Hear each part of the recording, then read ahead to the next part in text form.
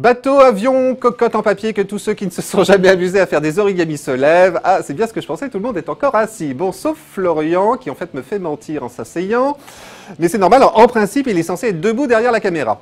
Et bien voilà qui tombe bien, puisque je vous propose maintenant un petit jeu pour vérifier que vous n'avez pas perdu le coup de main. Dans Paperama, c'est le nom de ce jeu, vous allez ainsi devoir manipuler une feuille de papier virtuelle et la plier de telle sorte à obtenir la figure qui vous est imposée. Assiette, rectangle, maison, trapèze, aéroglisseur, boomerang...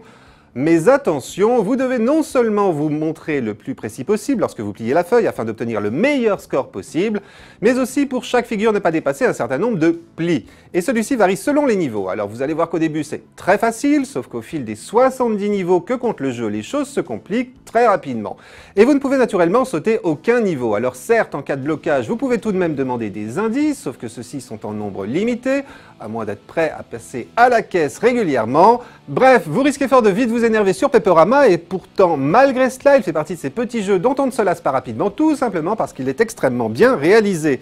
Pepperama qui est sorti il y a deux mois sur Android et qui est maintenant également disponible sur iPhone, un jeu gratuit dont on n'attend plus maintenant qu'une version pour Windows Phone.